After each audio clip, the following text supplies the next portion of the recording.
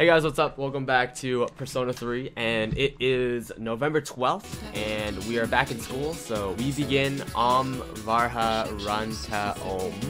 Today we'll be examining regional forms of magic. First up is India, one of the birthplaces of magic.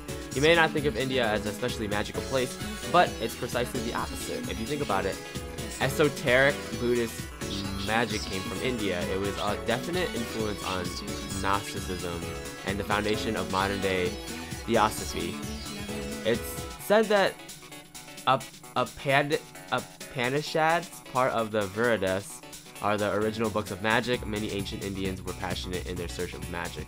These Indian magicians emerged uh, in similar circumstances as other places around the world. In India, it's traditional to lead a pious life, but eventually some people claim to have gained immense power through tapasya. At first, their claims were rejected, but they slowly gained power in numbers. Eventually, they are accepted into common practice. They are the asceticism mentioned in Upanishads. However, a normal human being wouldn't be able to mimic their skills. Uh, tapasvins have surpassed the limitations of humanity. Do you think you could fast and pray for months at a time without eating or sleeping? You would die before attaining any powers. So it's understandable that the Buddha rejected such extreme asceticism. of course, the uh, Upanishads aren't all about such wild practices. They contain very practical methods too. Yoga, for instance, was also introduced in these scriptures. Are you still listening? No out-of-the-body projections now. Perhaps the test in order to see if you're listening. Get it wrong and I'll pile some extra bad karma on the Varha Renta Om. Who should I call on? How about you, Kangi? I ask of thee. What is the ancient Indian magical text I mentioned today? It is the um, Umpan, Upanishads. Oh, correct. I remember an honest life. Moving forward, yoga is full of variations. Some asanas are for health, while others are for prayer and worship. One important system of Hatha Yoga, the type for the yoga people are most familiar with today. In this yoga, one cultivates a healthy body to attain purity of mind. You gain the correct answer, your charm has increased. Perfect. So, uh, one of the more difficult, uh, difficult classes. That was pretty hard to read. But we're gonna hang out with Yukari today. Hey Kangi, are you are you walking back by yourself? I'll come with you. It seems Yukari wants to walk home with you. Would you like to spend time with her? The offer. Great, let's go somewhere. Yukari seems excited. So, we do actually have a trip coming up soon, so I want to try to get to that. Also, the Paulownia Mall Chico Cafe. So it just seems to have a coffee thing. We're not actually doing anything. Anyways, back to that. Uh, we have a trip, and also I don't want to go to the Tartarus until. Uh, what's her face is back uh, Mitsuru. So we are gonna go back to our room and make it to the next episode or the next day. So and let's see. Ooh, we're getting a phone call. Hey, it's Yukari. Do you have a minute? Yeah. Hey, want to do something next Sunday? Yes. Promise? Don't forget or I'll be mad. Yukari seems excited. So she is at level 9. So one more and we'll be able to actually see what... Uh, would probably be dating with Yukari at that point. It will be the max level. So, we are going to continue through. Alright, so it's the next morning. On the 13th, it's a Friday, you overhear a conversation. The Kyoto trip is almost here. I don't care how much... I don't care much about shrines, but I'm still excited about it. Me too, I want to go see deers, deers, and deers. Just deers, huh? Wait, you're thinking of Nara. The first bell is rung. Alright, so we're gonna move on.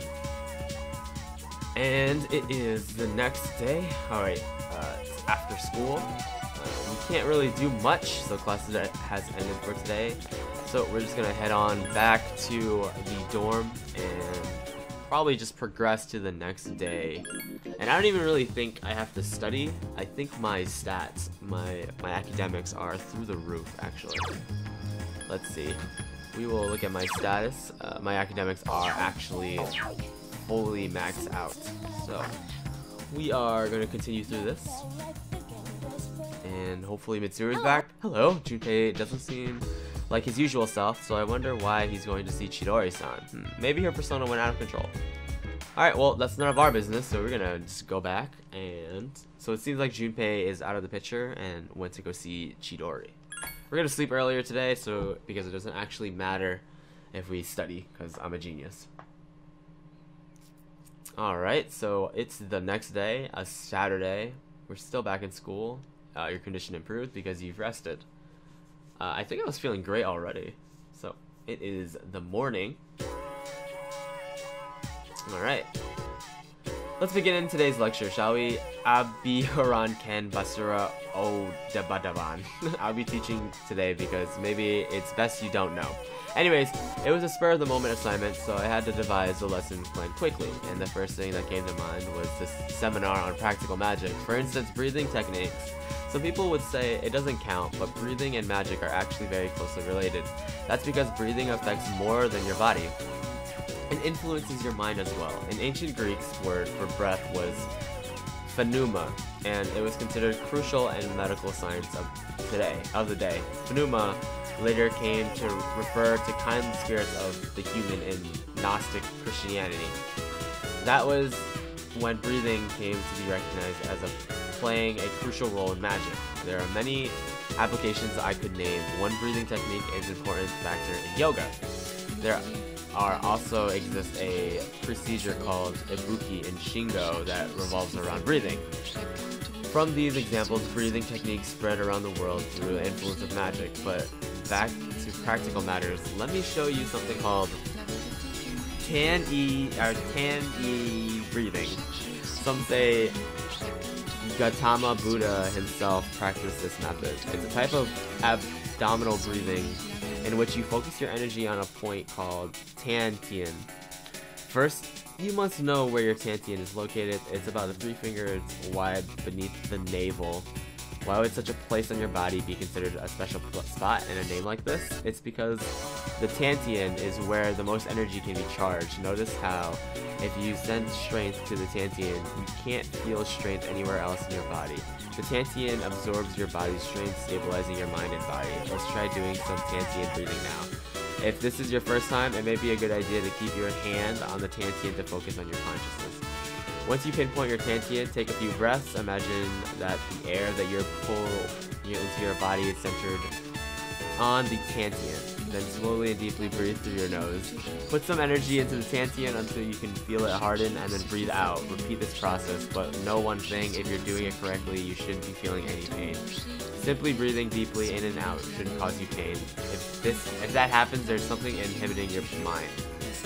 You feel tired, eyes for a you actually stay awake. Breathing methods work well in tandem with the meditation, which is crucial for magicians. It's important not to believe that you're doing is breathing. In truth, you're, you can improve your physical fitness through breathing techniques. That leads in turn to improvement of your physique, your psyche, and your astral self. That's it for today. Yeah, stayed up and listened. Your academics will increased. Alright, oh my god. Another tough lesson by that guy. The magic guy is so rough. Holy shit. Hey, Mitsuru. There you are. I've been looking for you. Alright, so it looks like Yukari and Mitsuru are gonna have some It's rare heart for you to miss a student council meeting. What's going on? Oh, I take it someone asked you to find me? it might actually be her transformation. Well, yeah, Was there a even though I'm not a member. Sorry about that. Alright, so she missed a meeting, which is They seem very pretty weird. busy with the class trip and all. I I'm bet excited. you have your hands full since it's both for juniors and seniors. Huh. The class trip, huh? Is she still going? Even if I went, I'd only spoil the fun. It looks like she doesn't want to go. You're not thinking of skipping the trip, are you? She is. Stop You her. can't do that. Exactly. You know, I've been meaning to talk to you. Uh-oh, heart to heart. Is that so? To tell you the truth, you're not the easiest person to relate to. But Okay. straightforward. I know what it's like to lose a father. Yes, she does. Talk about. I decided that I should be more upfront with you from now on. Oh. Hey, it's the the the transfer ah, there she is. Hey there, ladies. Hey there, ladies. Haha, Ryoji. I've been looking everywhere for you. Fuck you, scarf guy. Ryoji-kun, why are you here? Exactly. Huh? Same as you. I was trying to find Mitsuru senpai. Why is he always like this? Some girl I've never met before asked me to look for her. Some girl? Fuuka? What? I wasn't the only one she asked either. She said if we don't find her, the class trip might get canceled. What the hell? Who said that? Seems like the vice president has the whole school looking for you. Oh, her. Okay. But I'm the lucky one who found you, Mitsuru Kirijo. You're quite stunning, if I may say so. Oh, oh, Would oh, you like to go out words. sometime? I know this one restaurant. It's on the top floor of a three-star hotel. The view at night is almost as breathtaking as you. Does that shit work? Fuck you, Ryoji. Huh? Senpai, you better get back to the meeting. you better get back. I I suppose so. I mean, I bet she feels a little bit better, I guess, right? thank you for your concern. For now, I will attend to my duties. Sounds like a plan. What about that dude?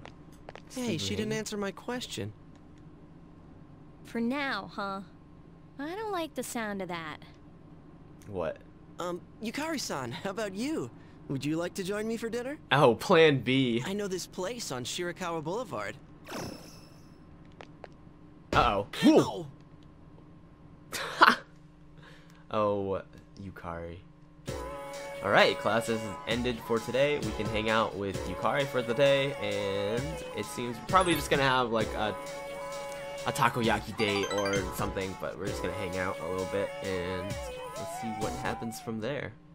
Yep. So, uh, Paulownia Mall, Chagall Cafe, you feel your relationship is growing stronger as you spend time with Yukari. It's getting dark out. You decide to go back to your dorm. Alright, so we had a coffee date instead of the usual takoyaki. But we are back. Welcome back. Welcome back. Uh, I will join you at the Tartarus tonight. I apologize for worrying everybody. Our only priority now is to do something about the Tartarus. I will do my best. Well, the school trip is next week, so that should be fun. But unfortunately, Amada and Koromaru will have to stay here. Alright, so now that Mitsuru is back, we can actually go to the Tartarus and attempt to fight the floor 180 boss. But with that, guys, I will start the, the next episode with that. So thank you for watching. This is the end of this episode. Thank you for watching. Hope you enjoyed it, and I'll see you guys next time.